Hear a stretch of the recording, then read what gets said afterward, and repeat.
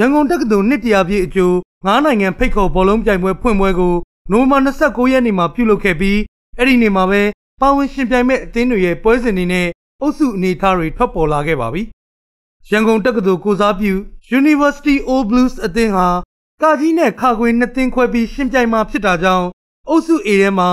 University Old Blues ကာကြီးအသင်းကမလေးရှားတောင်ကိုရီးယားတို့နဲ့အတူကြာရောက်နေပြီးအုပ်စု B မှာတော့ University Old Blues ခါခွေအသင်းနဲ့အင်ဒိုနီးရှားအသင်းထိုင်းအသင်းတို့ကြာရောက်နေတာဖြစ်ပါတယ်။ပြန်ဖို့အတွက်တော့ကိုတို့တင်ကတော့ဟိုအေသင်းနဲ့ဘီသင်းနှစ်သင်းခွဲထားတဲ့အထဲမှာတော့လေသူတို့မှာတက္ကသိုလ်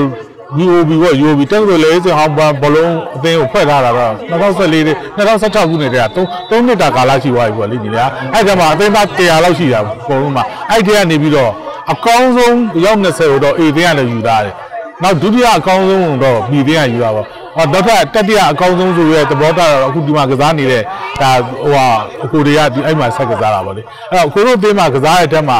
သူကအဖက်ရွယ်လေးအလိုက်လေးတုတ်ထားတော့အသင်းမှာလည်းအမာကန်လေးတွေပေါ့လေအရင်တော့သူတို့အသက်ရွယ်တော့သူလေးစင်ပါလာတဲ့ player လေးတွေလည်းပါတယ်လေဟိုမှာအလေတန်းမှာကစားမယ်ဆိုရင်ဟိုတခင်တော့ကစားတဲ့ဟို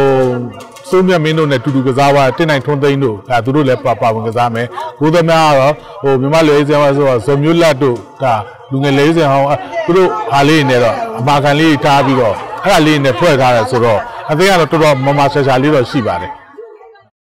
နိုဝင်ဘာ30ရက်နေ့အုပ်စုပွဲစဉ်တွေကိုရန်ကုန်တက္ကသိုလ်တထုံလန်းဘောလုံးကွင်းနဲ့ဘန် M3 ဘောလုံးကွင်းတို့မှာပြိုင်နေကျင်းပသွားမှာဖြစ်ပါတယ်။အုပ်စုဘိုဖြစ်တဲ့အသင်းနှစ်သင်းဟာ ပထမဆုအတွက်ရှင်ပြိုင်ရမှာဖြစ်ပြီးအုပ်စုဒုတိယရတဲ့အသင်းနှစ်သင်းကတော့တတိယနေရာအတွက်ကစားရမှာဖြစ်ပါတယ်။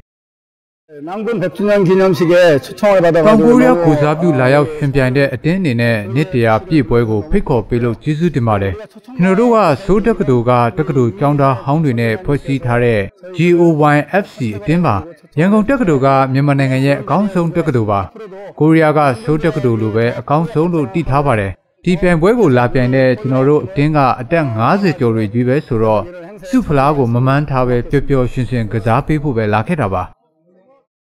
မြန်မာကိုစားပြု University O Blues အသင်းကတော့ဒီပြိုင်ပွဲမတိုင်ခင်တိုင်းနဲ့ပြည်နယ်အသင်းတွေနဲ့ခြေစမ်းပွဲကစားခဲ့သလိုထိုင်းနိုင်ငံမှာလည်းတွားရောက်ခြေစမ်းကစားခဲ့ပါသေးတယ်။တဲ့ရွယ်နဲ့ကစားတဲ့ဘောလုံးနီးစနစ်ကအောက်တော်များကျေပြတ်နိုင်ခင်ဗျာ။ဒါတွေကဗမာလဲဆိုကျွန်တော်မြန်မာနိုင်ငံမှာလည်းဒီနောက်ပိုင်းအခုကျွန်တော်ဒီဆယ်စုနှစ်မှာတော်များလာသလို ကျန်တဲ့နိုင်ငံတွေမှာလည်းတော်တော်များရှိတယ်။ဥပဒေထိုင်းနိုင်ငံပေါ့ကျွန်တော်ထိုင်းနိုင်ငံကိုကျွန်တော်